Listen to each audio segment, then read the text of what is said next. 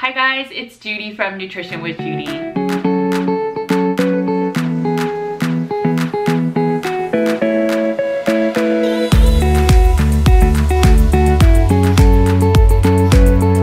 Alright, thank you for joining me today. Please subscribe, please hit the bell for notifications. This allows me to provide you guys free content. Okay, so today we have Elliot Overton with us. He is all things holistic nutrition and we take a deep dive on oxalates. We also talk deeply about supplementation and why we sometimes may need support even from a carnivore diet perspective. All right, guys, let's get right into it. Um, he was a pleasure and I hope you guys learn a ton. Make sure to get your pen and paper out this time. There are a ton of notes that you can take. Hey guys, it's Judy from Nutrition with Judy, and today I'm very excited. I have Elliot Overton with me, and we are going to talk about all things holistic nutrition, oxalates, sleeping, and so let's get right into it. Elliot, thank you so much for joining me today. If you can sort of introduce yourself and what got you interested in holistic nutrition. Uh, yeah, hi, thanks for having me. um, I, uh, I guess I like science. I'm interested in science. I like chemistry. I like biochemistry particularly interested in nutritional biochemistry and how that applies to um, human health. And I think that the conventional medical standpoint, um, generally treating symptoms, tends to neglect uh, in, individual human biochemistry and how, how how individuals differ and how actually by pinpointing um, nuances in in our biochemistry we can potentially uh, see much better results in, in human health, if that makes sense. So so I just a bit of background. I um I went traveling through uh, India. I went there for about a year, and I um I developed quite severe gut issues, digestive issues. It was like a bacterial gastroenteritis or something, mm-hmm. and um, came back to the UK and I went to my doctor and I went through kind of the general recommendations and the conventional recommendations, and uh, and I saw almost no benefit. I was essentially told that I'd just have to deal with this, what was now post-infectious IBS. Um, and so that kind of spurred me on to researching alternative methods, so alternative supplements and probiotics and diets and these kinds of things. This eventually led me on to uh, Weston A. Price Foundation, and then down that route towards like a ketogenic low carb kind of template. And i found that that actually really helped. It didn't completely fix it but it you know essentially got got me to a point where i was no longer having severe digestive issues. Um, and so you know i've always been kind of interested in medicine in herbal medicine these kinds of things but i decided kind of early on that i didn't want to go the conventional medical route um, because you know, particularly in the UK, but I know it's the case in the US as well, um, that, you know, people are getting sicker and sicker. Generally, yeah. you know, whatever they're doing, the conventional recommendations don't work. So actually, uh, you know, I wanted to, I had fairly good confidence in the, the power of nutrition in a, in its ability to kind of, um, you know, really help people uh, deal with chronic illnesses. You know, conventional medicine is amazing if you break your arm or if you kind of have some acute infection, but actually, otherwise, you know, for chronic long-term illnesses, then it doesn't have a great track record. And so, um, yeah, I I kind of decided I wanted to study nutrition, and I had a couple of options. I could have gone down the conventional university route, um, but that was very much many of the courses where I was looking anyway at the universities very much kind of focused on the traditional food pyramid, the FDA food pyramid, and that was what I was trying to kind of work yeah. away from. You know, I, I, lost faith in that, so I um I went a bit of an alternative route. I, I went to somewhere called the College of Naturopathic Medicine. I got my nutritional therapy diploma, and um, since that point, I've I've kind of been studying, um, learning, and trying to apply what I've learned. Um, again, anyone who studies nutrition in any detail will understand quickly on that there's many biases and it's you know we all have our biases but actually there's lots of different schools of thought and it's kind of trying to separate the wheat from the chaff and find out what works and what doesn't work. And it doesn't always apply to you know one thing doesn't always apply to everyone right? Yeah. so it's trying to pick out the principles that, that generally can be applied to most people and then tease out the nuances Um, and so, yeah, that's what I do. So I work with people on a one-to-one basis. Um, most of my practice is virtual, so it's primarily I work with people from all around the world, um, and we kind of go through their health and, and try to refine their diet and their lifestyle, and um, yeah, basically help them feel better again, kind of thing. Yeah, no, that's very similar to what I do, and it's um, I mean, it's amazing. It's uh, we can have sort of a theory in our mind of what works with nutrition, and then we work with someone else, and it's like, okay, that's not really working, and then we have to get back down to the bio individuality of what makes sense for that specific person. So I totally on the same page with you, and it's very exciting, right? Um, so let's transition to talking a little bit about oxalates. I heard you on, I think, a couple podcasts where you talk about oxalates, and if you can sort of just give a you know, a brief explanation about what oxalates are. Yeah, of course. Um, am I right in thinking that you've had Sally Norton on the show previously? Yeah, so your listeners are probably familiar with it, but I'll go through the basics just in case there's anyone sure. listening that aren't familiar with it. So essentially, there's this idea, um, just to kind of go back, this kind of central uh, nutritional dogma um, which persists in conventional medicine, but also in nutritional circles as well. And it's particularly common in today's world, coming from the um, let's say the the mainstream sources or official sources. This idea that plants are fundamentally healthy. Um, and they are benign, right? And the, the more plants that you eat, the the, the healthier you will become.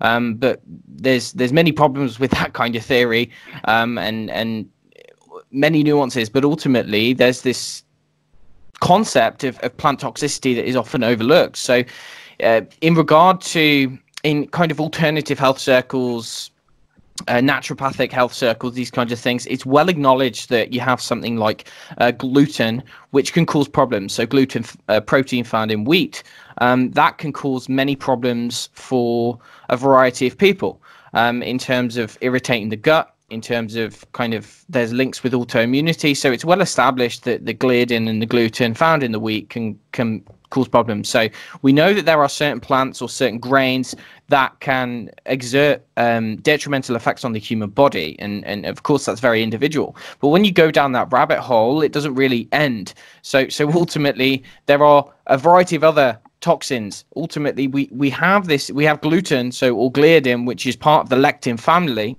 and we also have many different other types of lectins, which are found in a wide variety of kind of foods. Um, but then we also have uh, several other toxins which have the capability to cause the human body problems, especially if the gut is not in a good place. If the gut is kind of, if we have underlying intestinal permeability or leaky gut, which your listeners are probably familiar with, then it mm-hmm. can render someone a little bit more susceptible to these types of toxins. So aside from lectins, aside from the other things that we find in grains, one of the the primary toxins that we find in plants is called oxalate. So oxalate is uh, it's essentially an organic acid. It exists in many different plants, um, and it's exists in higher quantities in certain plants than other plants. Um, and essentially, it's theorized by certain kind of plant researchers that it might be a um, it might be like a defense mechanism employed by plants um, again, there's this concept that you listeners are probably familiar with, but just in case they're not, this this idea that actually every living organism, and that includes plants, that includes animals and human beings, and everything in between, kind of thing. Um, everything wants to survive, right? And so everything has its own uh, mechanism or its own kind of tools by which it can survive in our kind of treacherous world and um, and so like animals or human beings, we have legs, we have arms, we can build tools. Um, animals. Uh, plants don't have that. Plants can't run away from from from from people or from predators or from herbivores, and so what they will do instead is they can release certain chemicals, and they do this so they're operating on a biochemical front to basically send a signal to whoever or whatever animal is eating that that it's probably not a good idea to do that in a you know for too long because it can cause problems so Oxalate is theorized to be one of these potential mechanisms. It's essentially, I said it was an organic acid, but basically what it is, it's a chemical which can bind very tightly to certain minerals. So mm-hmm. it binds tightly to calcium, it binds tightly to magnesium, potassium, other minerals, the strong chelator. Think of it a bit like a magnet.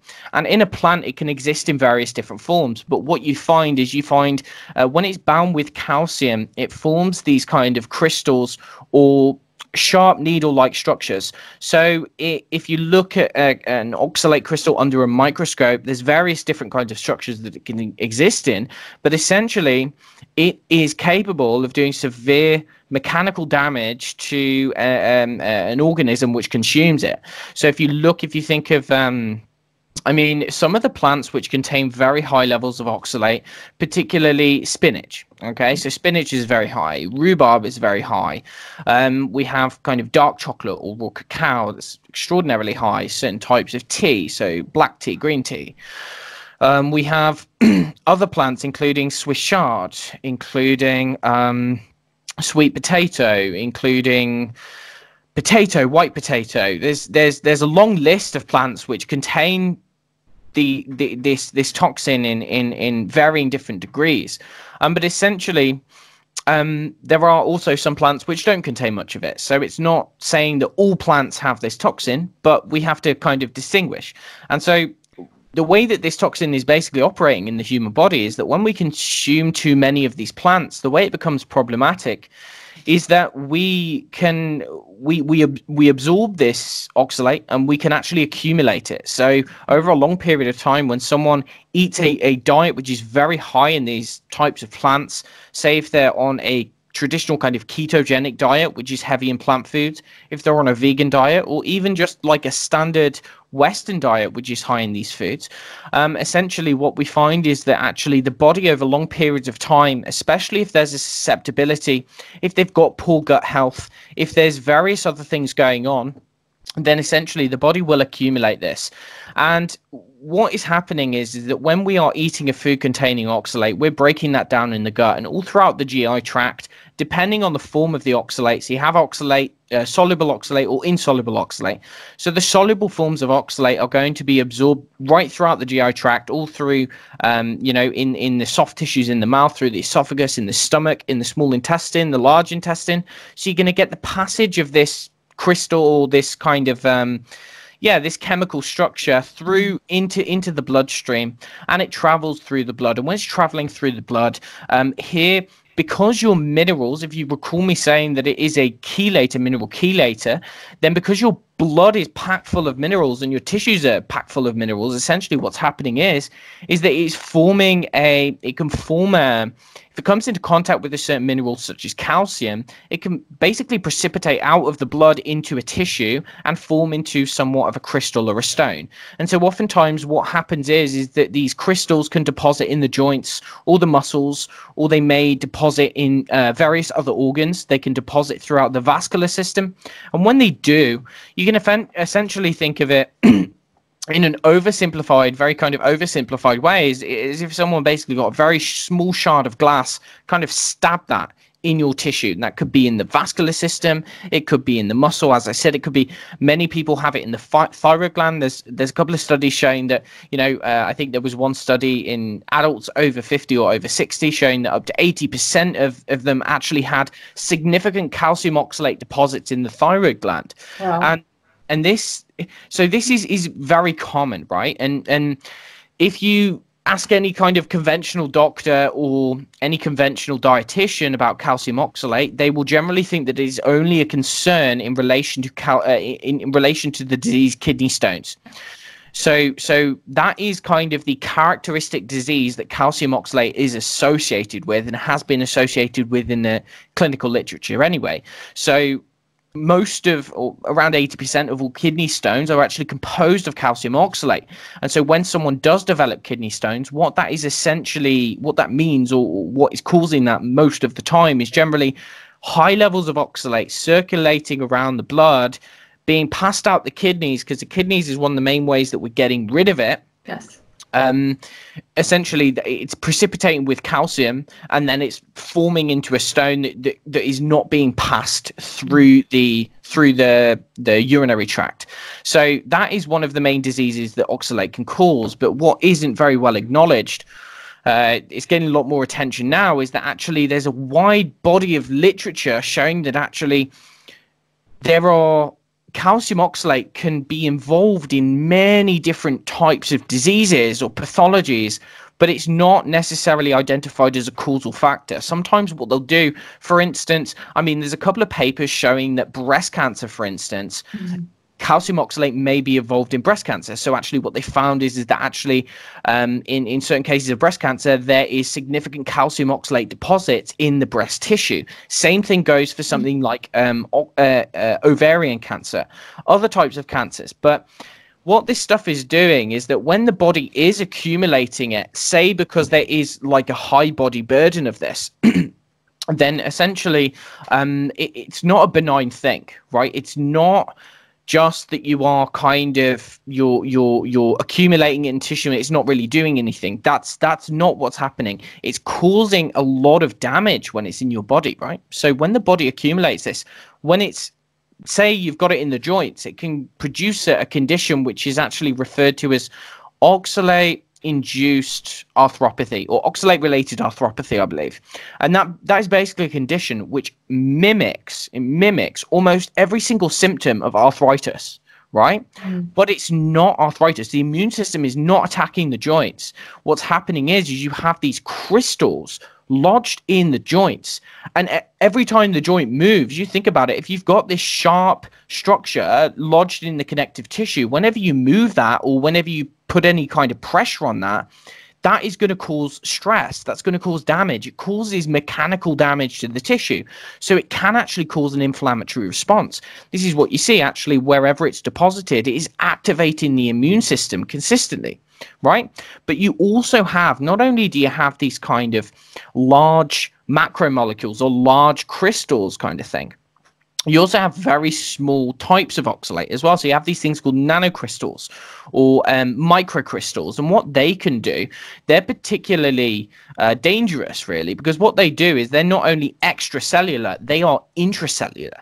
So they can get into cells. You see, when you're depositing or accumulating these crystals, that's generally in an extracellular fashion, right? But when you are, when you have these micro or nanocrystals, they're getting, they can puncture through cell membranes. They can actually cause cells to burst open. Wow. So so so you have cells which basically the membrane if you puncture that all of the contents can spill out and that's mm. what you get with calcium oxalate or with these kind of microcrystals but when they get into the cell they're they're biochemically active right what that basically means is that in your cell you you think you've got hundreds of thousands maybe millions i don't think anyone knows how many enzymes are are, functioning inside cells. So you've got these tiny little proteins which are performing a wide variety of different functions. They're converting one thing to another thing and one thing to another thing all of the time. That's how your cells work. Um, but essentially, what these can do, what these what these nanocrystals can do is they can interfere with the function of specific enzymes in the body so or in, inside the cells so you have these um, certain enzymes called carboxylase enzymes so it's well established that actually oxalate can dock on to the enzyme and these carboxylase enzymes are involved in multiple areas of metabolism how we're breaking down amino acids how we're breaking down fats how we're uh, undergoing kind of gluconeogenesis how we are um, breaking down proteins glucose all of this kind of stuff. They're, they're really important but essentially, yeah, these these biotin dependent enzymes, oxalate can dock onto that and actually kind of displace biotin or stick there. And um, biotin's a B vitamin. Essentially, what I'm trying to say is that it can really screw with intracellular biochemistry. And you have the organelles, the, the, the place where your cells make energy, the, called mitochondria, right? And so actually the mitochondria is like the hub of the cell, how we are making ATP in the form of, or sorry, energy in the form of ATP, which allows us to do all the things that we need to do. Well, oxalate is is has been found to like dock onto the mitochondria, and it can cause a phenomena referred to as mitochondrial dysfunction, which is essentially, you know, there's various kind of researchers. You read any paper on mitochondria these days, and they will relate many long term chronic illnesses with mitochondrial dysfunction, with a lack of energy, or it's referred to as the bioenergetic model. When cells don't have enough energy, then actually you can get a, lots of different manifestations of that. You can have kind of insulin resistance, or you can have kind of many other different types of autoimmune conditions. And and there's there's many theories now which are saying that actually an an overall energetic deficit inside cells may be the root of that. And so if we consider that oxalate is um, oxalate is potentially driving some of that mitochondrial dysfunction. It's driving chronic inflammation in tissues. It's driving many of these pathologic changes that you see in other diseases. There's a very good reason to think that actually oxalate is involved, not only in kidney stones, but potentially in many of the chronic health conditions that are not considered to be related to oxalate.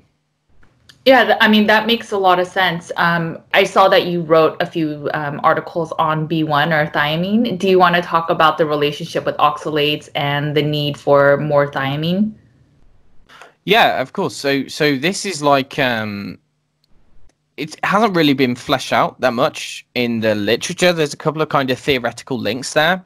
Um, generally, just to give some background, right? So, oxalates are not only something that we find in the diet and they're not necessarily always problematic in the diet in small mm-hmm. amounts. It's when we have high amounts coming in consistently, going through the kidneys, going through the liver, causing damage, causing damage in the rest of the system, potentially driving things like fibromyalgia, arthritis, these kinds of other conditions. Um, and we also robbing us of minerals when we are I haven't said that basically the body is accumulating this, but then it can get rid of it. It's going to be getting rid of it, and that's referred to as dumping, and that's going to be going through the kidneys or the gut. Um, essentially, when it's doing that, it is stealing minerals, so to speak, because you think of it's it's a magnet. It can bind very tightly with potassium, magnesium, calcium, iron, zinc. Uh, it's pulling those things out, so it's doing all of that. But that is just on a dietary front. So that's just considering that, okay, we have these toxins coming from the diet. But at the same time, oxalate is also a normal metabolite of mm-hmm. liver of, of, of human biochemistry, right? So we are naturally going to be producing some oxalate, the mm-hmm. chemical structure of oxalate, in our liver on a daily basis in a very small amount. And that's not a bad thing. Um, but what has been characterized or what has been kind of investigated is this concept of endogenous synthesis. So when the body makes too much itself. So there is um, there's a couple of conditions. One is referred to as primary hyperoxaluria okay? Primary hyperoxaluria and this is where a lot of the information comes about when the um, when the body becomes completely overburdened with oxalate we we we we look at the literature on primary hyperox- hyperoxaluria and you can see that it deposits in all of these different organs and so primary hyperoxaluria is basically involving this couple different types but it's basically involving some of the enzymes in in the liver involved in something called the glyoxylate pathway mm-hmm. when those enzymes when someone has an inherited um, mutation in those enzymes essentially what what can happen is is that they are uncontrollably driving intermediates driving precursors down this pathway making a lot of oxalate themselves right? So actually this is a pathologic condition. It's an it's like a you know it's a genetic heritable condition kind of thing with a genetic mutation. But essentially the, these per, these people become so overburdened by oxalate because they cannot stop making it. There's no off switch in their liver to stop them from making it. So now that we've kind of covered that, when we're looking at that pathway, it's not only or it doesn't seem to be the case that it's only the people with this genetic condition that, that can make oxalate. In fact, it turns out that there are many individuals who are potentially making too much oxalate in their liver for a variety of different reasons, which are non genetic in origin. Does that mm-hmm. make sense? Yeah. So, actually, if you look at something, if you, we look at some of the precursors, for instance, you see that we have something called methyl glyoxal and that is um, generally produced. Uh, it's related to protein glycation, but that can be in very high levels in diabetes, for instance. So someone who is a uncontrolled diabetic, they've got metabolic syndrome, they could potentially be theoretically more likely to make more oxalate in the body and be more predisposed. Uh, sorry, predisposed to the problem of having oxalates. At the same time, if we're looking at the steps steps in the pathways, to be able to divert certain intermediates away from producing oxalate, then we need sufficient levels of certain nutrients. Okay. One of those is vitamin B6 and one of those is mm-hmm. thiamine.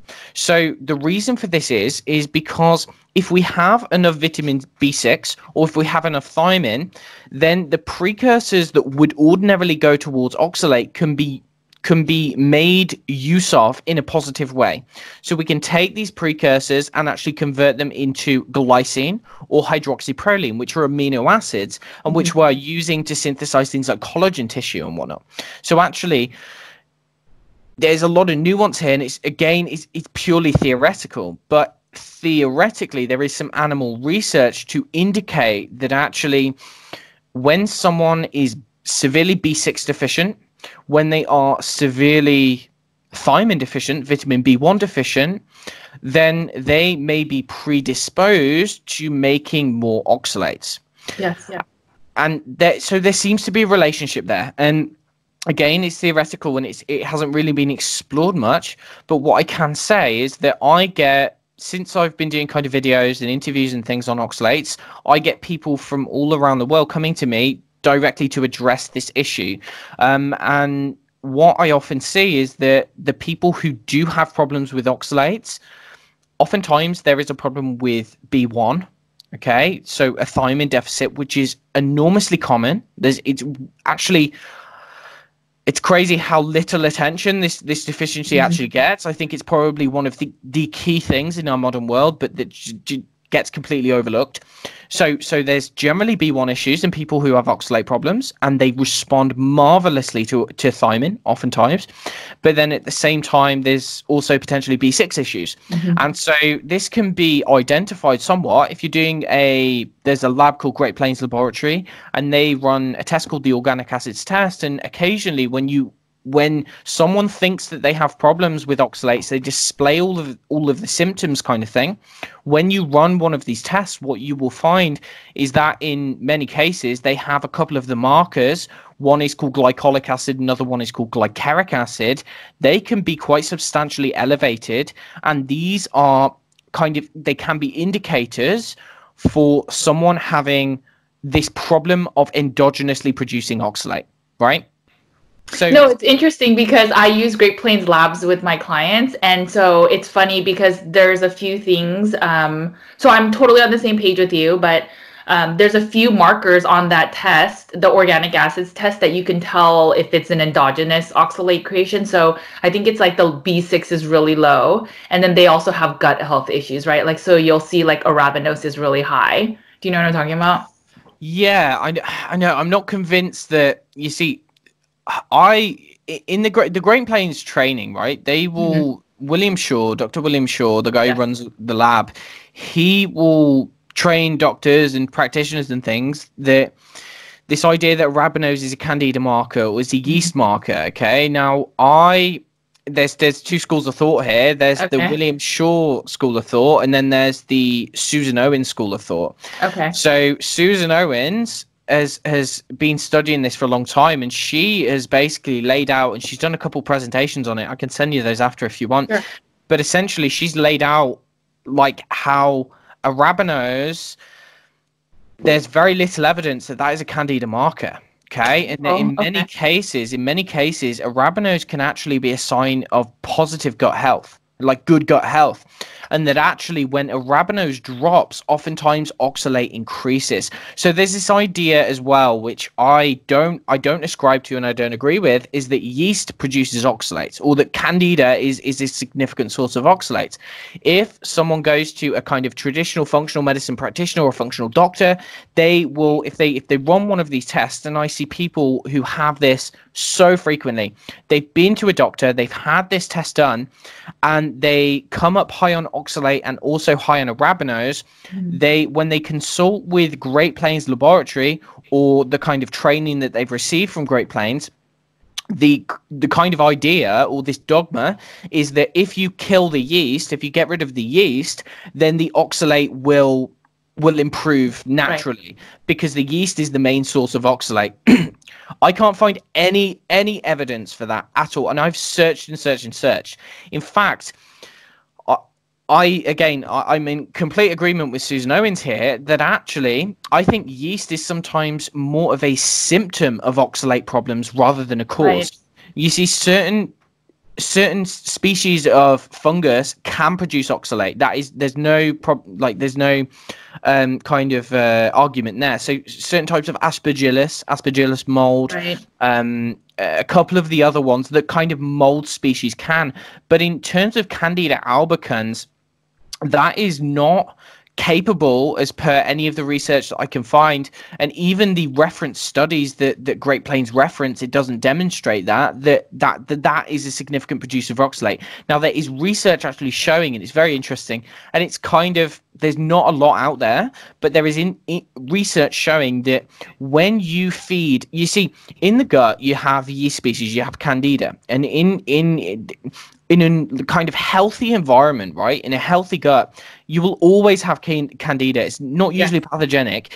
It's in its kind of they call it its budding state, so in its uh, commensal state. So it plays a beneficial role in kind of modulating our immune system, in you know balancing out with the other commensals but actually what what you can do when you feed that a lot of oxalate so either if you have a lot accumulated and you're dumping it through the gut or when you just eat a really high oxalate diet what they showed was that when you feed candida too much oxalate what happens is is you can you initiate a shift. So you initiate you activate a stress response in the candida which identifies oxalate as a poison. And so what it does is it goes into defense mode. And when it goes into defense mode, it goes from being its commensal state, its budded yeast state, to being its hyphal pathogenic state. Mm. So you can theoretically, this is again, it's theoretical. There's not a lot of evidence on there, but the research would suggest that actually by having a high oxalate diet, that's potentially going to be causing candida from to go from being a good guy to being a bad guy and actually initiating that kind of candidiasis or the systemic ca- or the the the kind of tough candida gut infection. Many people find that when they cut oxalates out of the diet or they go on a low oxalate diet candida problems thrush infections fungal fung um, toenail fungus mm-hmm. tend to disappear. They tend to go away in and of, of themselves. That's what i found anyway. Um, so yeah we were talking about the Great Plains organic acids. Yeah. Yes. No, so I'm on I'm on the same page as you. Um, the way that I've been trained with, and you know, I actually haven't seen um, Dr. Shaw's um, presentations, but I mean, I've had other trainings, and uh, the ones that I've seen, it wasn't about the that the candida is feeding the oxalates. It was kind of the other way that you had just mentioned. It was more that eating a high diet in oxalates or you know having too much collagen from the hydroxyproline that goes down to the oxalic yeah. acid you know that route having too little b6 or like you said thiamine all of that can then you know further exacerbate any gut health issues like candida and so right. that's sort of how I was sort of trained from GPL. It wasn't the that the um, candida feeds um, oxalates to be higher. So um, right. I'm on the same page with you, but I definitely want to see the Susan Owens um, presentations. I think that'll be interesting. I think oxalates are so interesting. Um, one question I had for you was in terms of carnivore. So, you know, a lot of people follow the carnivore diet. They hear um, talks from you or from Sally Norton, and then they hear, oh, every single, you know, pain, joint pain, um, you know, I, I feel worse after going carnivore for a while. And then everyone is starting to attribute it to oxalate dumping. And I just wanted to hear your opinion from your clients. Um, what have you seen? Um, does it make sense that everyone's sort of, you know, blaming everything on oxalates? And then, you know, if you think about it, all of us kind of eat a high oxalate diet before knowing that it's oxalate, um, high oxalates. And so, why is it that some people have very blatant symptoms like the kidney stones, and then other people it's a kind of a guess, right? Like I have backaches or I have joint pain. Oh, it must be oxalate dumping, right? So if you can kind of talk about that. Yeah, it's a, it's something that is when you first come across this information, like it's mm-hmm. easy to ascribe every health problem to oxalates, and there are yeah. people who who do that, right? They'll say, you know, some of the groups and things, you any any joint pain, any kind of gut issues, anything like that, they say, oh, it's oxalate dumping, kind of thing, and so it's really, you know, it's kind of it's very common. Um, I get a lot of people coming to me they've heard either Sally Norton or Susan Owens or myself talking about oxalates, and they kind of, you know, they think it's their magic bullet, so to speak. Thing they think that every single symptom that they experience is because of these oxalates. And you see, right, just to go, right, just to go back to some of the symptoms which are really common the the main symptoms that someone tends to experience and it can be different for different people but oftentimes what you might see is related to muscle aches and pains joint pain that is unexplained and that actually comes on with certain foods or comes on with the um, with the limiting of certain foods right? So that is one of the key symptoms that a lot of the people describe.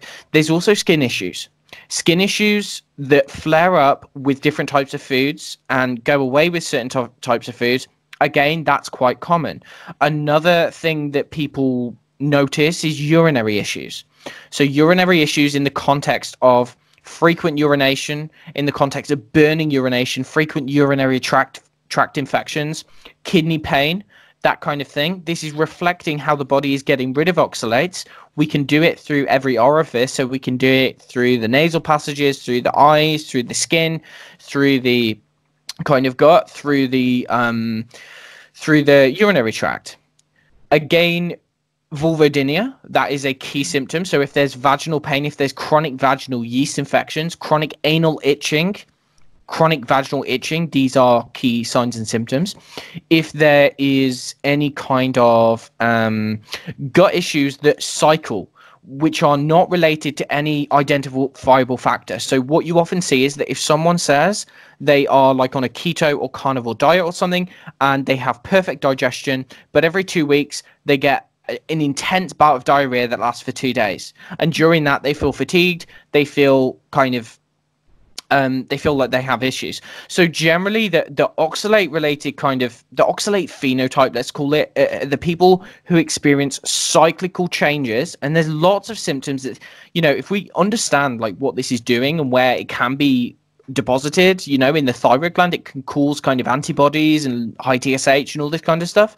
So actually there are a wide variety of things that this can cause, but those are really the main kind of symptoms that I have managed to kind of identify that are consistent. Now, one of the key things which is going to indicate whether someone is going through this, there's a couple of things.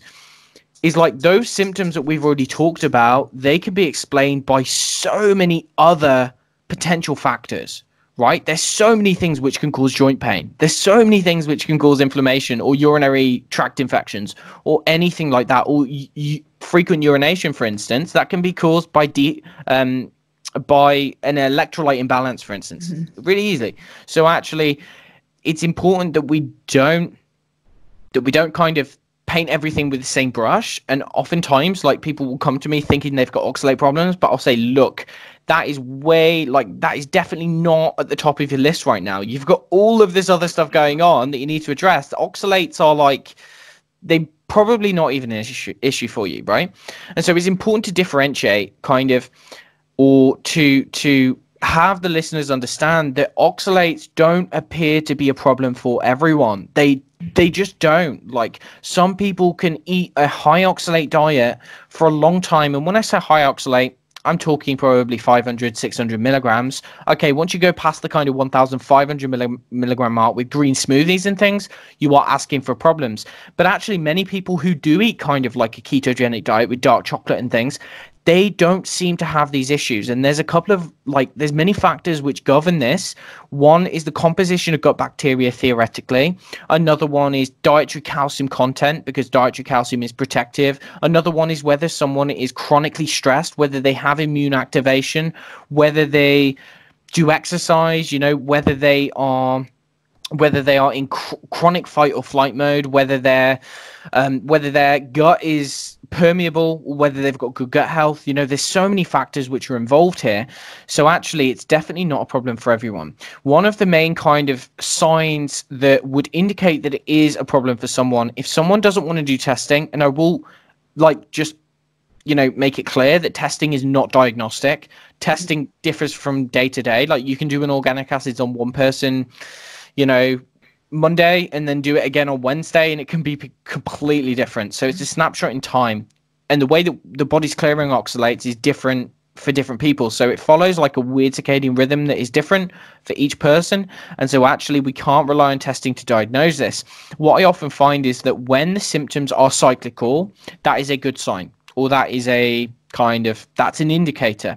Again the typical kind of symptoms that we've indicate or that we've identified but there's also another kind of key uh, key way of identifying whether this is a problem or not is that when someone does go through a cyclical period of symptoms where the symptoms get worse, if the symptoms improve by doing certain things, then you can have a good idea that it might be related to oxalates. So, for instance, if someone has severe fatigue, headaches, they have rapid heartbeat, and they have kind of diarrhea, for instance, then if they eat a food which is high in oxalates and it disappears, all of the symptoms get better, you can be pretty sure that this is an oxalate related problem.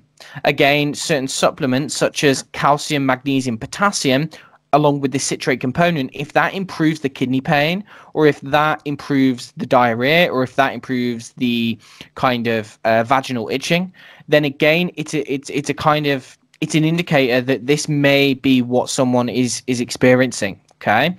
Again, there's always going to be differential diagnosis. There's always going to be multiple things that go on, but one of the key the, the key things that I look for is if someone has had a history of um, high oxalate intake in the diet. That's one thing.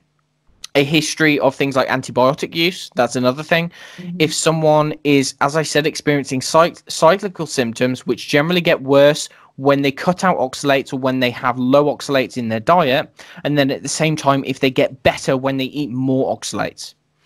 That is you know almost certain that this problem have, has this person has a problem there's many people who don't right so actually you know it's it's kind of again we're human beings we like to have everything in like set boxes and yeah we like to compartmentalize things and say right okay uh, I know the answers now, and this is likely what's causing. We like to have answers. We like to have certainty. We don't like the chaos of uncertainty kind of thing. But you know what I try to continually get across to people is that this is uh, applicable to a subsection of people. Mm-hmm. There's a lot of people who this doesn't seem to apply to.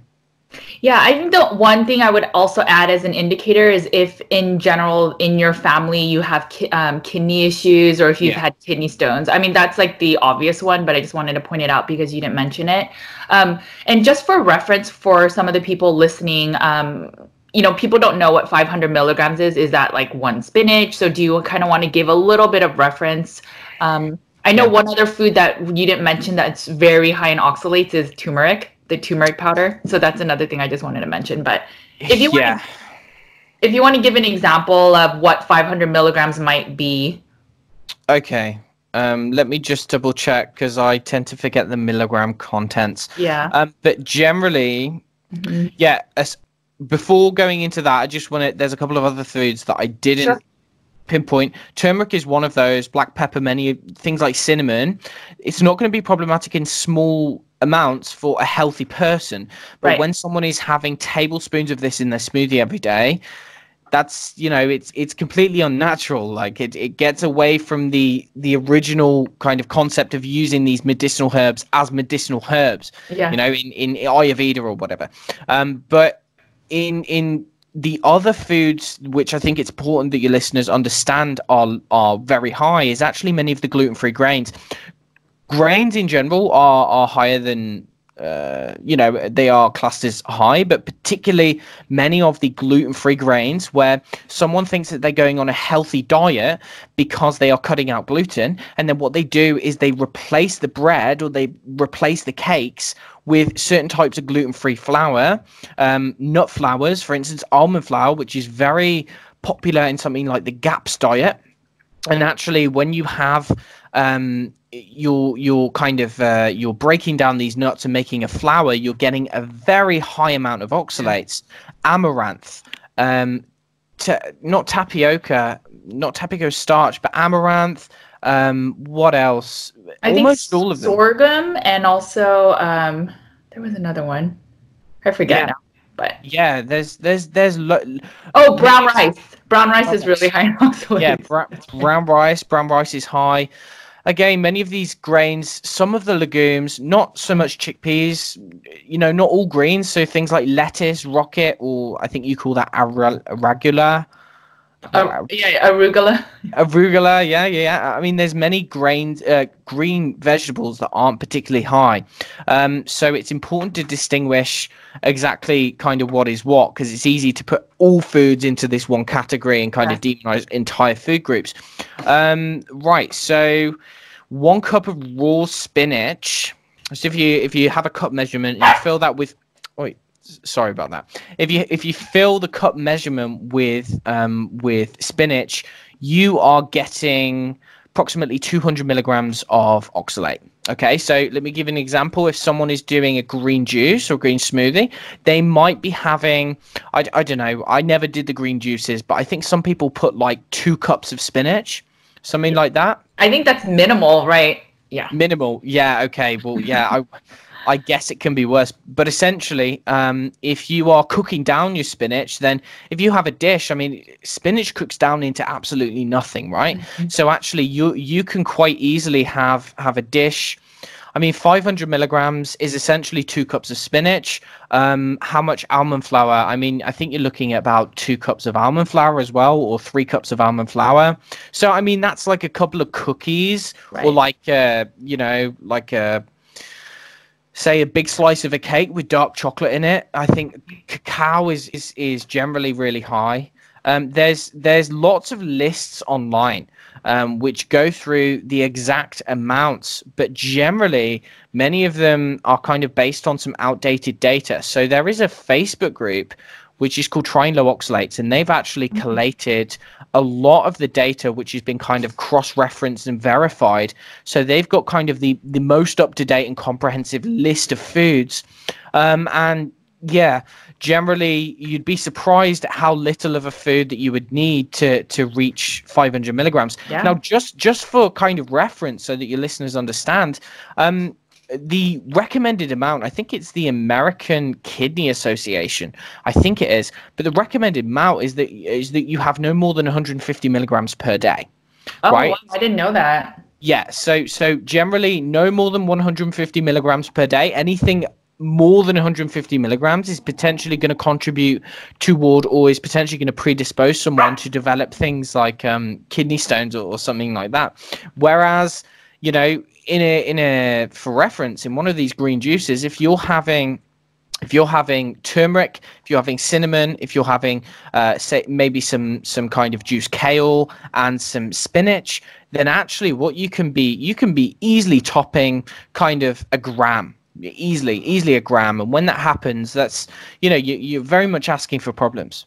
Yeah and a lot of people add almond milk which is like the unsweetened almond milk. They'll add peanut butter. They might add a little bit of cacao, and that all, like you said, adds to more oxalates. So, you know, in terms of uh, people transitioning to car- the carnivore diet, then would you recommend that everyone, you know, slowly transitions off oxalates, or you know, is it that most people can go full carnivore, not worry about the oxalate dumping? Like, what are your thoughts on that?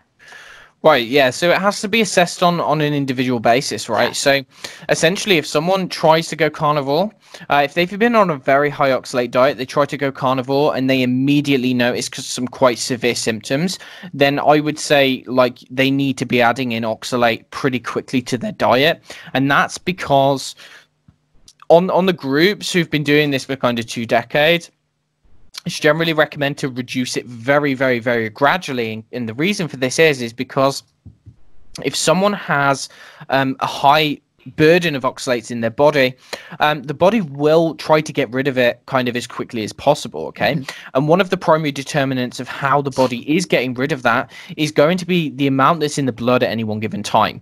So if you're on a consistently high level of uh, high oxalate diet, then you're going to be propping up this blood level consistently and and your your your tissues are going to preferentially be accumulating that. Your kidneys are going to be filtering whatever they can at any one given time but that's fairly limited. Whereas when you have for instance when you go on a carnivore diet you're cutting down your oxalate to practically zero overnight. So when that happens the blood level of oxalate you, you don't have as much coming in from the from from the gut because you're not eating any oxalate containing foods. And so actually what you then develop is you you have a very low level of oxalate in the blood. And when that blood level drops then your tissues get basically they they sense the the the drop in oxalate in the blood and they they start to dump it. So they start to release it. And when you you are releasing it it's it's activating your immune system. It's pulling minerals. It's doing all of this kind of weird and wacky stuff. And it can cause a wide variety of problems quite severe problems for certain people. So actually if someone does have um, a long-standing issue with this then i mean there's there's multiple cases. I've had several cases. I know sally's warned about this for a very long time, so is Susan Owens, is that actually certain people, when they cut it out too quickly, they can become acutely hypokalemic, end up in the emergency room or accident and emergency, as it's called in the UK. Um, end up in accident and emergency in the UK simply because what's happening is is this massive dump of oxalate is essentially binding to a lot of the potassium screwing with the entire electrolyte and mineral balance. And then what you're getting then is you're having all of this potassium wasting through the kidneys. And so someone is developing symptoms like they think they're having a heart attack they're getting severe palpitations they can't breathe they're having anxiety panic attacks. So they go to the ER department and they might find that actually they've got low blood potassium. Other than that, everything is fine, right? They may have like a T wave inversion on their EKG, but ultimately, most of the things they're just told that, you know, it's an anxiety attack or something. So, actually, in many cases, it can be very severe.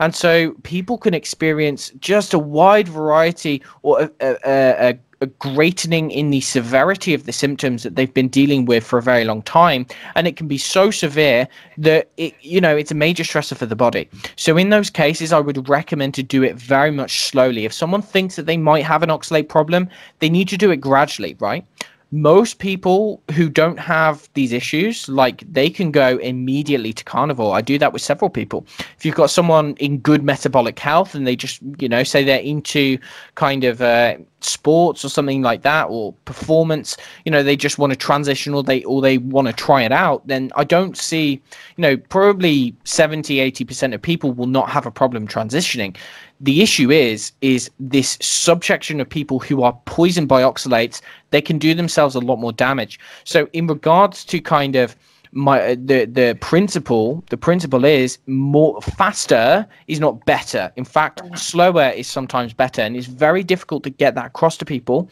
because when you understand that you've potentially been poisoned and you've accumulated that poison and it's coming from a food that you're eating then most people have an innate aversion to that food. They don't want to continue poisoning their body or they don't want to continue eating a food which they know is causing their health problems.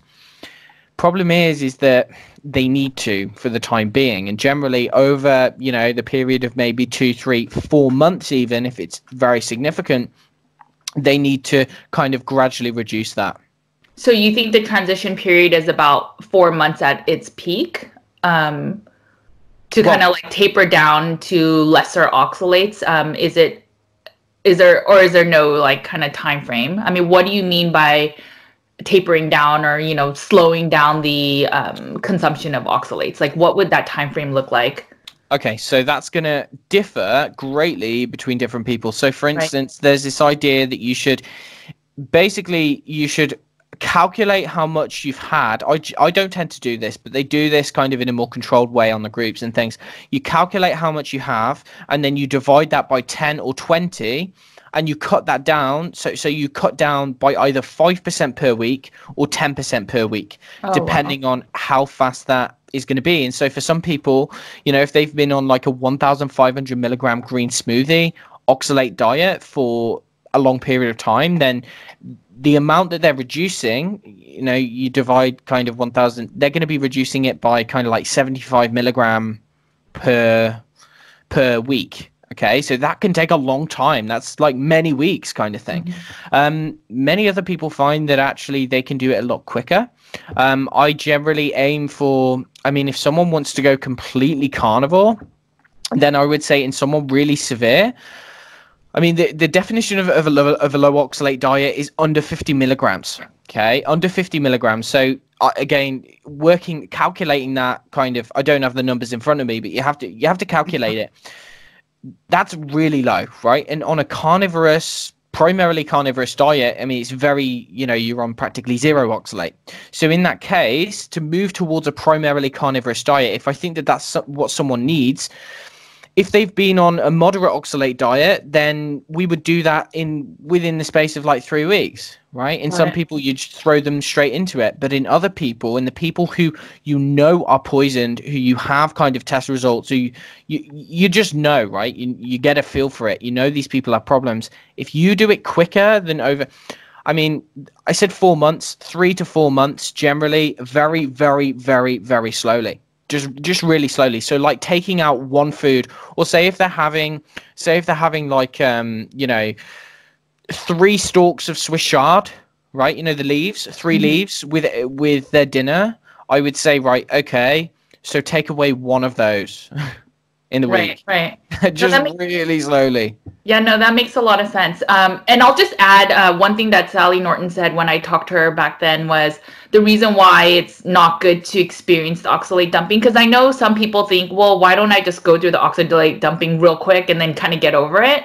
But it, the risk is that you can actually damage cells where they won't, you know, they'll die. And so it's not yeah. ideal to go through that oxalate dumping.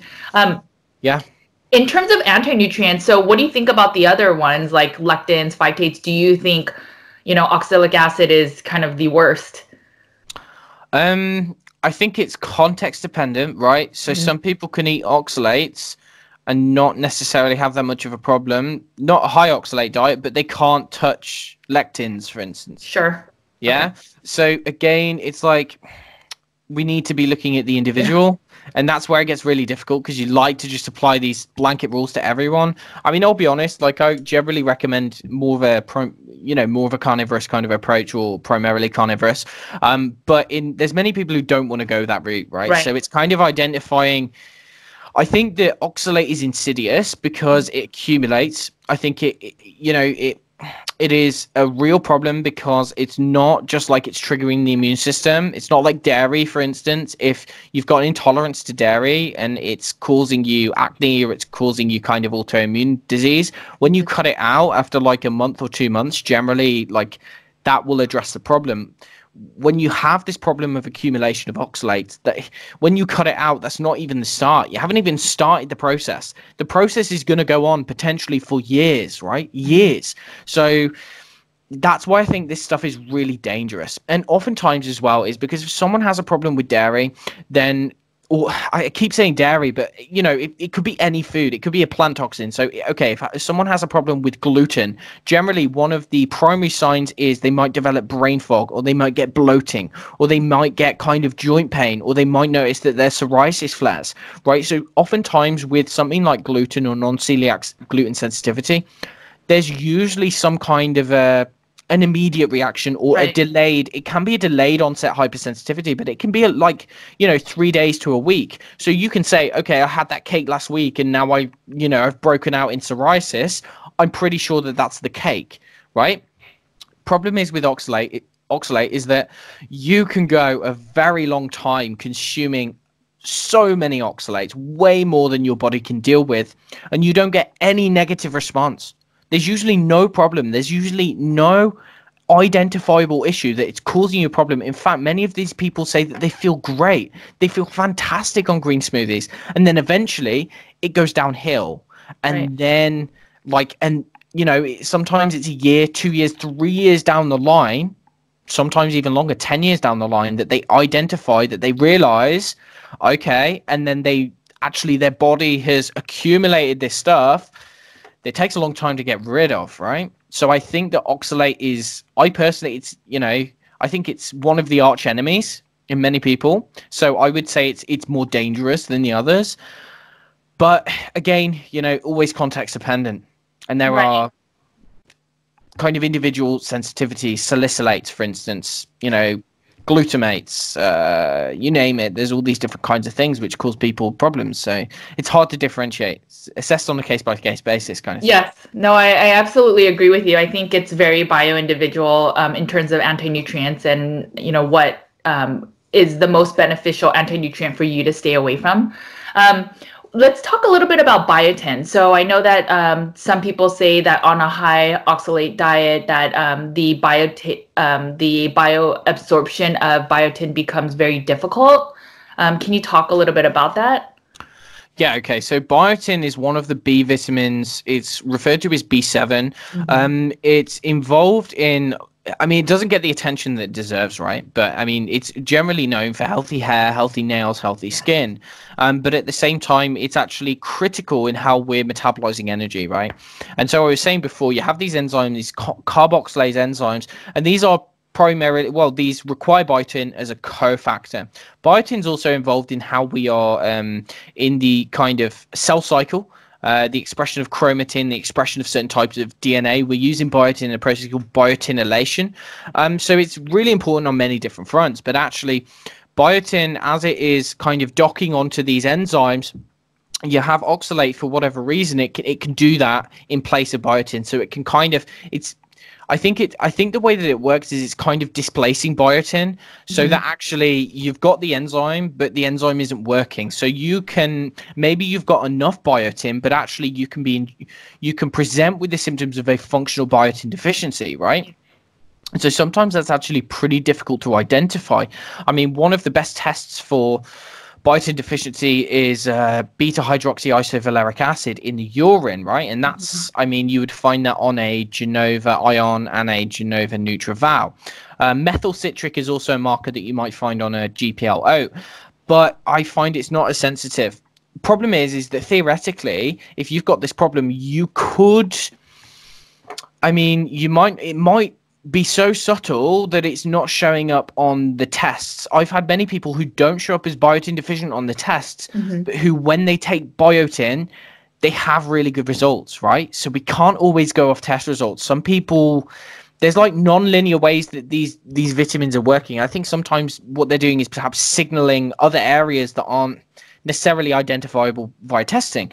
Um, but essentially, yeah. So when people have this problem, a little bit like thiamine when people have a problem with oxalates, generally the, the three key nutrients that I find are prim- prim- primarily an issue is is the B1, the B6, and also biotin. So biotin, what what can happen is is that if you do theoretically in the intracellular compartment or in the, on the compartment of enzymes, the active site, if you have oxalate which has basically been bound up to many of these enzymes, when you take biotin, when some people actually supplement with biotin, and I'm not convinced that you can get enough from a diet no matter what kind of diet you're eating. Many times it has to be super physiologic doses, sometimes in the realm of kind of 10,000 or a, at least a thousand times the RDA, sometimes 10,000 times the RDA. Or, you know, uh, actually, what's happening is, is what it's theorized to do is potentially displace displace oxalate from from this enzyme and kind of dock on to where the enzyme is. It's a similar concept as um, don't know if you know much about testosterone replacement or testosterone mm-hmm. optimization therapy. This idea that actually you need um, you need external forms of testosterone to displace the endocrine disrupting chemicals bound on the receptor. Little bit kind of similar concept that actually sometimes it, it almost seems like in these people you need a high dose of biotin to actually displace oxalate. But when that happens, what can happen is is that you are initiating a dumping scenario. So you are kind of potentially going to be liberating free oxalate, which is sure. then passed out of cells via the transporters, and then again, it hasn't really been characterized. What we do know is that when someone takes biotin, it can help with many of their health issues, but at the same time, it can produce the symptoms which they associate with oxalates. Okay, mm-hmm. which they associate with oxalate dumping. Similar thing can happen with thiamine and B6. If someone is in, is is endogenously producing oxalate, then again, it's kind of possible that what might be happening is that when they are taking exogenous thiamine or B6, they're reducing the amount that is being made in the liver and therefore reducing the the blood level, yeah. therefore initiating it to be coming out of tissues and therefore dumping it. So actually, a lot of it is anecdotal. I mean, we have some theoretical framework for how this might work, unfortunately the research hasn't been done but the, th- the the anecdotes are by you know looking at kind of 25 30,000 people worldwide who experience similar things that sometimes they need thiamine supplementation, sometimes they need B6, and sometimes they need biotin. And when that happens, it can initiate a dump. Similar kind of process with Epsom salt baths or any kind of sulfur supplement, because what it's potentially doing is pulling out or pushing out oxalate from the cells. With this thought process, um, with your clients, how, you know, knowing that our body uses so many enzymes and cofactors, right? we don't always know if a certain nutrient deficiency is because of that true nutrient deficiency. So how do you solve for that when you work with clients if they're you know low in B1 or B6? Do you just supplement with those? Um, I, I'm curious to know the way you do that. Um, do you think just you know solving by giving a B complex vitamin makes sense? I mean, what are your thoughts? Right. there's kind of different schools of thought here, right? So there's this idea, particularly in kind of carnivore or animal-based nutrition or keto, that you know you definitely don't need supplements. You can get it all from the diet, and I think that. Oh no, I, am not on that same page. Um, no, I, I think no, no, no I'm not people, saying that you are. I'm yeah, no, I know that most people are. Yeah, um, I think uh, most carnivores. You're right. They believe just eating meats will heal everything, but I think if you have bad gut health, I think you need support. So I am not on that same page. But go okay, ahead. Yeah, I'm. Uh, yeah, I, am glad that we agree there because. I'll be honest. Yeah, there are many failures, right, and they benefit from supplementation. So actually, yes. like, okay, yeah. So so in the context of a chronic nutrient deficiency, then it's like right. There's a couple kind of ideas of how to how to go about this. There's this notion that okay, you take a B complex where you're taking things that you don't necessarily need. So you might not need B6, but you might only need the biotin. So why take the B complex? Thing is with that is that you know all of the B vitamins are water soluble, right? So your mm-hmm. body has a pretty good way of getting rid of what it doesn't need. As long as you're not mega dosing like multiple different nutrients, then oftentimes I don't see that taking a B complex is is problematic. And there are several. I mean, Derrick Lonsdale, for instance, who kind of pioneered the work on thiamine, kind of insisted that whenever you are to replace thiamine, for instance, um, you need to do it with a B complex behind it. So I generally use a B complex in. Um, you know, just as a kind of safety measure, and people generally find that it gives them a perk of energy and things. Um, ultimately, in terms of resolving or identifying like a chronic nutrient issue, sometimes it won't come up in testing. But again, you see, there's this idea, right? Uh, again, this is kind of taking a note from Lonsdale's book. I don't know if you're familiar with um, with the book by Chandler Marrs and Derrick Lonsdale. It's called High Calorie Malnutrition, uh, Thiamine Deficiency Disease, and Dysautonomia. No, I don't, but I'll um I'll put it in the show notes. I'll get right. That. Okay, yeah, I'll send you that. Okay, okay, so he lays out a framework, and I think it, you know, it seems to make so much sense, and it's exactly what I see in real life. When someone has been on a processed carbohydrate diet or processed modern diet for such a long period of time. And they they say they are suffering from some kind of chronic illness particularly when we're looking at things like chronic fatigue syndrome mast cell activation syndrome fibromyalgia the very complex very complex conditions that it's so multifaceted kind of thing and there's no one one kind of there's no one way around it. You have to work on multiple levels at multiple different times. So in a case like this, when someone has gone uh, such a long time being so deficient in certain nutrients, then there's this idea that actually the body, to conserve energy, what it will do is potentially downregulate the number or the, the quantity of enzymes that are using a particular cofactor, right? So let me give you an example, right? He, he, Lonsdale did a lot of his work on thiamine, and I, you know, I, I really think that this is very important. But actually, what he found or what he theorized, what he identified was that when we consume, and this is a not a radical concept, very basic kind of nutrition. When you consume refined foods, when you consume this high calorie, so lots of macronutrients but low ma- micronutrients, mm-hmm because we need the micronutrients to process the macronutrients, when we are having lots of refined empty calories, we're gradually depleting our micronutrient stores, right? Mm. And so if you kind of can maintain a level of kind of stable physiology with continual supply of macronutrients and micronutrients, you're probably going to be in good health. But actually, because the majority of kind of Westerners have this bombardment of sugar, processed refined carbohydrates. What this is very much doing is depleting many of our nutrients, but primarily our thiamine, because thiamine is the key nutrient is the most important nutrient to burn carbohydrates and actually on a high carbohydrate diet you're using roughly twice as much b1 as you are the other nutrients in processing the energy so actually because many people who come to us right they come to us they've had long-term kind of history of consuming lots of sugar very likely that their thiamine status has been quite poor. And what can happen is is that essentially when the status or when the intake of, of the nutrient is low for such a long period of time you think these these nutrients are cofactors for specific enzymes. Right. The problem is is that these enzymes are energy costly to maintain, right? It's costly to maintain and repair an enzyme or a protein. So actually if you've got this continually low amount of micronutrient coming in, then what you what you are likely going to do to conserve energy, down regulate many of the processes which aren't being used efficiently because you are deficient. Does that make sense? Yes, it does.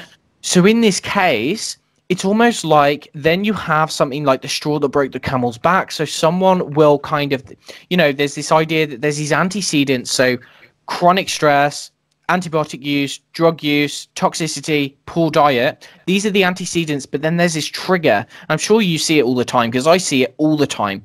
The trigger is like the straw that broke the camel's back, and it's never the cause, but it's usually just something small, a family trauma, an infection, something like that and and all of a sudden they they they they their health just completely crashes right? They call it a crash oftentimes in their own words. So they say that's when their health crashed. Well at bringing someone out of that state is in so much harder than how they got into there. And it's yeah. kind of like there's it's very likely that there's a complex array of chronic nutrient deficiencies which kind of set them up for that. And then boom that initial trigger kind of you know as i said cause them to crash. And so there's this idea that perhaps what is going on is these long-term adaptations to conserve energy are part of of that kind of lower state of physiology after the crash so it's like you've got someone with chronic fatigue syndrome actually by giving them a, a, a nutrient rich diet mm. what you're doing is yeah, you, you're giving them kind of what they would have required previously, but because everything's down regulated to conserve energy, it's almost like it's not enough. So even though you're Im- improving nutrient density, I think this applies with B6, I think this applies with B1, biotin perhaps, because you are kind of the body is in this conservation mode, it's in this survival mode kind of thing it's almost like in that state, the only way to get it out, and this is Lonsdale's theory, but I found it to be perfectly correct, is the only way to get someone out of that lower metabolic state is by saturating or megadosing specific nutrients mm. to kind of wake the system back up again. It's almost like telling the system that it doesn't have to worry anymore. It doesn't have to conserve so much energy. It has enough to do what it needs to do. And so it can start upregulating all of these essential functions and someone can start making energy again. Does that kind of make sense? Yeah no so, i i completely agree. I mean that's how whenever i work with um, clients initially they're on a lot of supplements because we do the symptom burden assessment where we just kind of look at how their symptoms are showing signs of you know maybe their organs or certain areas need support. Yeah. and in these areas you know that's why i think a lot of people that start carnivore and they're like, well, I'm eating all this meat. Why am I not feeling as good? Or why am I still not able to sleep through the night? Or, you know, or they still have adrenal issues. And it's like, yeah, maybe you need a little bit of support because yeah. maybe you still have gut issues. Maybe your adrenals were that that whole HPA axis was a little wonky that you need a little bit more supplement support, right?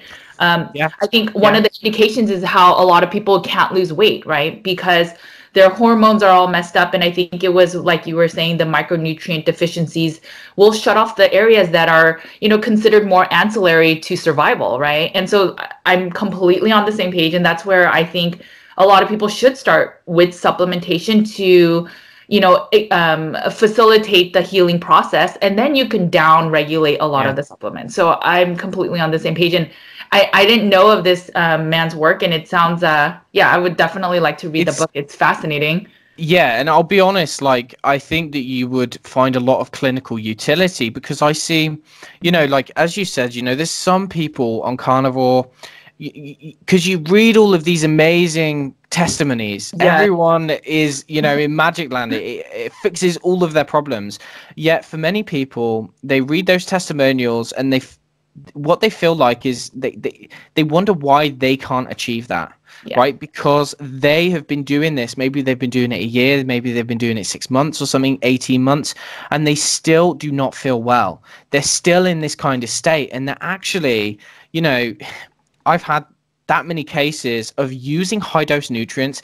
And back to the original question that you kind of an- asked it's kind of identifying what that person needs and oftentimes yeah. it's symptoms as well. So going through you know this is where a case history a non-biased approach and actually a very in-depth case history looking at all the symptoms the reactions everything like that. If you know what to look out for as you know you can really pinpoint things which might have been missed and then you know a temporary period of quite high dose supplementation their response to that is going to tell you everything. And that actually right. sometimes, I mean, I've had some people, I had one guy, he'd been on carnivore for, I mean, how long? He'd been on carnivore for like a year. He'd had diarrhea, he'd have all these kinds of things. So you're looking at kind of, okay, potentially nutrient deficiencies, but he'd had a history of fibromyalgia, chronic mm-hmm. fatigue, dizziness, vertigo. We used very high, do- high dose B1, B2, B complex. And within like a week, you know he had he had he had made 95% more improvements than he had in the entire year previous just doing carnivore right? So again like i forget the question that you asked because i've kind of oh, gone off on a tangent. I, I apologize. No no i completely agree with you. That's why I, I you know i loved what you just explained but it's really just um you know if if you were to do like the oats test and in some of the nutrients um, specifics if they say oh you know this person is low in b6 do you just go and um, you as we talk about how a lot of nutrients have cofactors and coenzymes do it does it make sense to then um, just you know implement a b6 regimen um, more than maybe trying to dig a little deeper and see if what the really core issue of why the b6 is low. Yeah uh, of course. So so again, in that context, you want to identify why they are low in B6 first right. of all. So, is it that they are taking the oral contraceptive pill? Do they have a history of taking the oral contraceptive pill? Are they have they got chronic digestive issues? Is there something else going on? You kind of look at the risk factors for deficiency. You know, are they are they drinking half a bottle of wine every night? Doesn't matter if they're eating loads of liver. Are they, you know, are they still an alcoholic kind of thing? So there's always these other kinds of things, and depending on the nutrient nutrient, I would generally tend to, um, you know, err on the side of caution. If I'm gonna use one nutrient in high doses, I will tend to use a B complex behind that just to be safe. Um, but ultimately, with specific nutrients you would be looking at specific cofactors so for instance b1 generally the the primary cofactor for b1 is actually magnesium so the idea you shouldn't be giving thiamine without magnesium but then what often happens particularly in carnivores is that if someone is very deficient in thiamine and you give high doses of thiamine with magnesium, what I tend to see a lot is that actually they start there's like an increased requirement for potassium. Yeah. So actually the potassium goes right down and they might not even be taking any magnesium. They may have to come off the magnesium, actually replenish potassium instead. So it's kind of like continually keeping an eye, retesting yeah. that kind of stuff.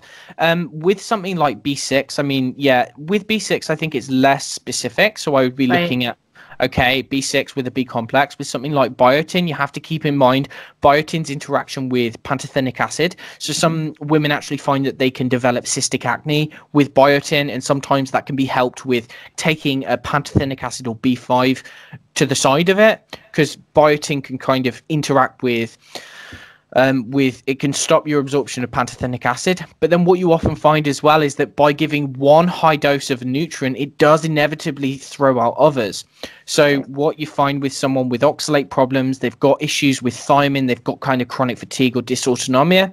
You give a very high dose of thiamine, but then you need to monitor monitor their folate and B12 status because what this can do and again, Lonsdale kind of explains it very nicely, eloquently, but it kind of unmasks other other deficiencies. As you are pushing one pathway, you're kind of having um, effects on other pathways yeah. and you're you're kind of speeding up everything so say you're putting down the gas pedal and then you are ultimately going to be unmasking or un, un kind of highlighting other deficiencies which were not previously a problem because everything slowed down mm-hmm. but actually as you start to speed things up then it turns out that actually they're low as well in other things. Now, ideally, you want to be getting everything from the diet. So right. I like to recommend, I mean, some people don't agree with this. I like to recommend kind of a nose to tail approach in terms of, okay, if they're, you know, if they're low in folate, try get as much liver as possible. Mm-hmm. But also at the same time, if they've got a chronic health condition,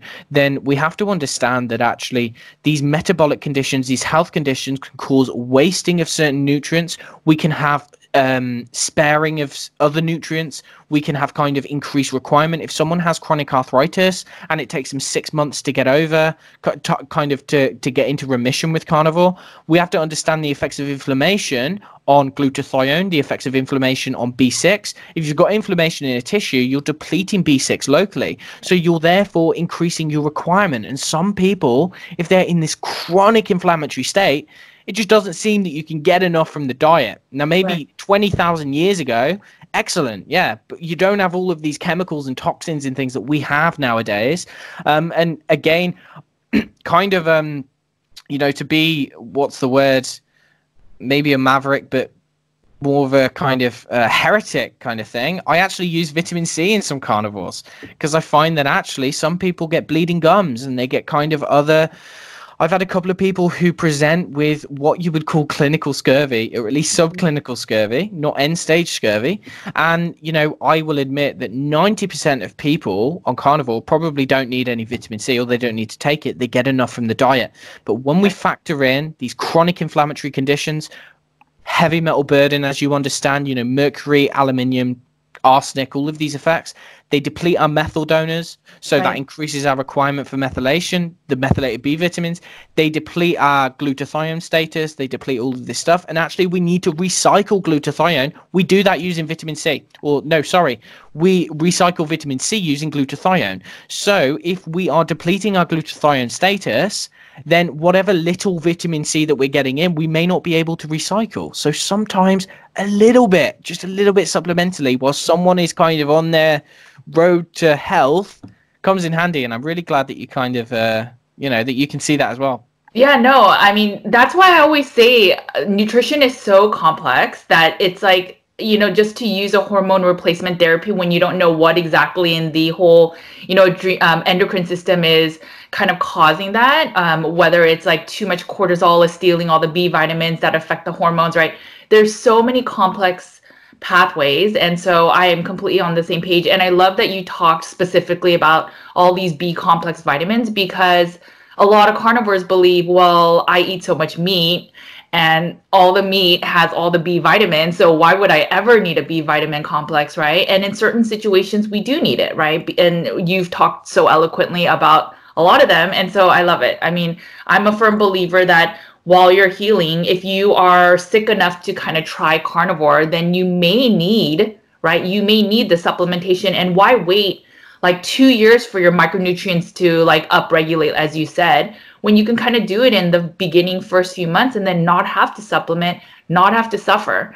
But um, it's like you said, there's a lot of dogma about no, when you go carnivore, you eat just meat, drink water, and you're healed forever, right? And it's just it's unfortunate because a lot of people don't have to suffer for as long as um, a lot of people do because they believe in these anecdotal stories, and you're obviously going to hear hear the ones that are the most um, fast healing, right, and the most um, awe-inspiring, and that's why they get tremendous play but a lot of people they don't heal that quickly you know? And so and i've seen that in my clients. Obviously it sounds like you've seen it in your clients. Just from your experience do you see any new um, supplements or nutrients that maybe carnivores um, and i know again this is very bio individual but would you say that there are specific supplements that you generally see or nutrients that you generally see carnivores should be kind of consuming more? That's that's an excellent question. Um, right, so there's a couple things that I think generally would not hurt to at least go through period of time Mhm. that everyone could probably getting a li- little bit more of. I would say iodine is one of those. Mhm. Not sure if you're familiar with the work on iodine. I'm Yeah. not saying 50 milligram doses. I don't necessarily think that that is for everyone, but actually a low dose of iodine. If you look at the analysis of certain foods, we're not we're not necessarily getting a lot. We are coming into contact with chlorine, bromine, these things which actively rob us. So Right. so what I would say to your question is kind of, you know, I like to take a kind of 30,000 foot view if possible and look at all of the things that potentially are stealing stuff away from us, stealing the good things and adding the bad things. And one of those, you know, iodine is definitely attacked. It's attacked in our body. It's, you know, it's very much kind of uh, disrupted. Another one is potentially boron, right? Boron, I don't know if the dietary intake of boron is significant. It depends where you are. Same as silica, it depends exactly where you are. Your water supply, most of us Right. have kind of, you know, we have different water supplies. We have kind of heavy metals in our water supplies, in our tap water, this kind of stuff. Um, generally, yeah, I would say boron, iodine, maybe silica. Those are two kind of, or three trace minerals which I think aren't going to hurt in very low doses. And I, I personally take those. I don't, you know, I don't think that, um, you know, I, I don't see any any negative to kind of, you know, I'd rather be safe than sorry. Um, in terms of, again, it's again, it's highly individual, right? So I work with a lot of people with chronic fatigue syndrome, fibromyalgia. I use B1 in many of those people. I, ju- I just do because it tends to be, you know, you just attract a certain type of client.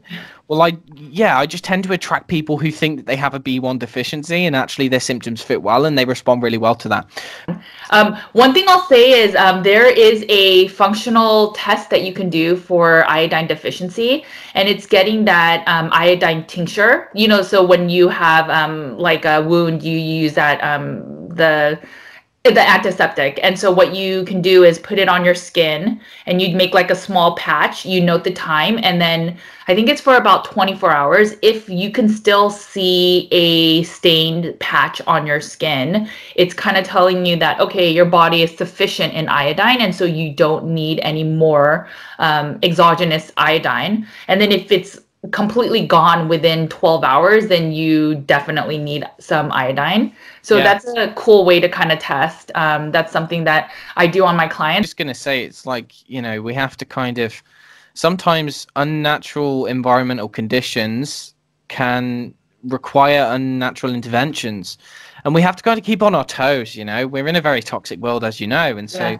you know, there's these onslaughts from all sides at the moment. And it's very much we kind of just have to do our best and, and you know, uh, try to monitor our health status in various ways and, and do what we can.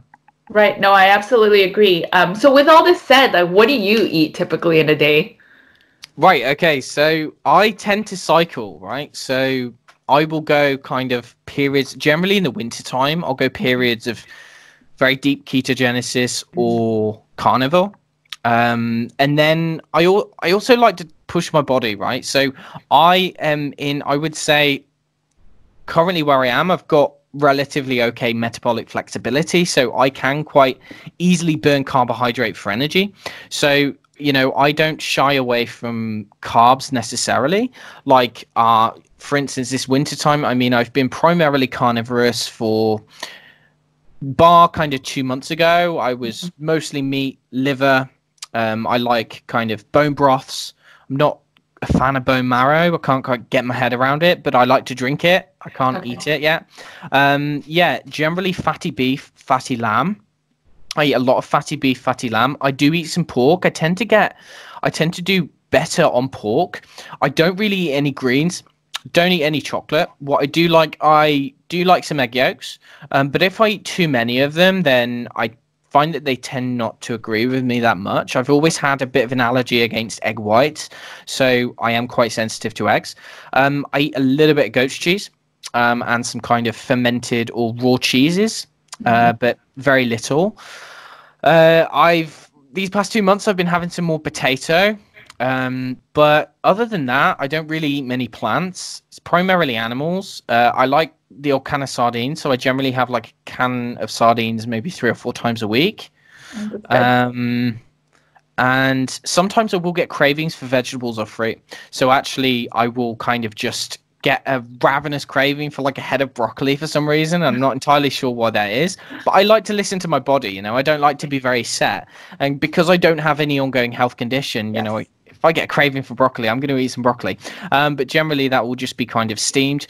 Or, you know, um, if I want some fruit, generally I tend to eat fruit, a little bit more fruit in the uh, in the kind of summertime when it's seasonal. So I might eat some berries, or I might, you know, eat some apples, for instance. Generally, ninety percent of my calories will be coming from animal food. So, what about you? No, that makes sense. Um, I, for the most part, I'm pretty much strict carnivore. I just do better with that. Um, I have kind of like the black and white thinking. So when I open the doors for with a little bit of carbs, I notice that I keep kind of dipping my toes into it until I fully go f- for all these carbs. And so I've just done um, done better um, in terms of mental health with just going full meat based. When you know you feel better on a certain way of eating, you just kind of stay that way. And for me, uh, just eating carnivore has helped a lot. So that's why I stick to it. It's not necessarily that my physical body um, can't handle plants. Yeah, in in certain people, you know, any amount of carbs can really just kind of open the door, as you said. Yes. Yeah. And I I don't know whether there's some kind of genetic predisposition, whether I don't know what what is governing that, but some people, my other half, any any sugar, any fruit, any carbohydrate, and it's like it just sends her down the path of kind of pigging out on it. So she is just That's me. primarily carnivore, and she's great on it. She's fantastic on it. For me, you know, I can be a bit more flexible, but yeah, it's it's individual, right? And maybe that will change for you as well. Maybe there'll be a time when you feel a craving for something, and you know, as long as kind of you trust your body, and but then again, you know, the Yeah, craving so- also be sugar as well. Oh, so Right. So, I mean, you know, there's a ton of studies where they show sugar is addictive. Um, and, uh, you know, when it comes to plants, I think right now it's the mindset of, well, o- only the animal kingdom. And so when you open the plants, it's also opens the nuts and then opens the sugar, right? So I would love to get to a place where um, I can eat the, I guess, the most innocuous plants and all that but you know i've tried um, adding a little bit of kimchi and then it over time right because it's like the fermented good for your prebiotics that type of thing and then it slowly you know added a little bit more and more and so um, you know i trust that one day i can get there but for now it's like working so you know why, why fix something that's not broke kind of thing yeah, Right. exactly, So, exactly. um, yeah, and I, I do think there's a little bit of a genetic component. I think you're kind of um, so Gretchen Rubin has this book where she talks about personality types of moderators versus abstainers. So some people do really well moderating. It sounds like you're a moderator. Um, my husband's a moderator, so when he tried to do carnivore, it made him go insane. Uh, he, he was physically feeling great, but the fact that he could not touch an apple or something was making him crazy. He's one of those people that can have like a chocolate bar and they'll sit there for months. He can have like one piece at a time and it's completely fine. Um, and then there's the abstainers, which is more like a personality like mine, where it's the 1% of 1% um, accessibility makes it much more diff- difficult than having 0% access accessibility, if that makes sense. yeah, Um, and so it's really kind of the balance of nutrition, but also getting to know yourself and seeing what works for you and your kind of, and it, obviously it always goes back to bio individuality. Um, all right, guys, I hope you guys learned a lot about oxalates and I hope you guys have a better understanding of how nutrition works in our bodies and it's not just a simple fix. I hope you guys understand all the benefits of going meat based, but how supplements do have a place um, that can benefit you. All right, guys, you know the drill. Make sure to eat a lot of meat. Take care of your bodies because it is the only place you have to live. I will talk to you guys soon. Bye. Take care.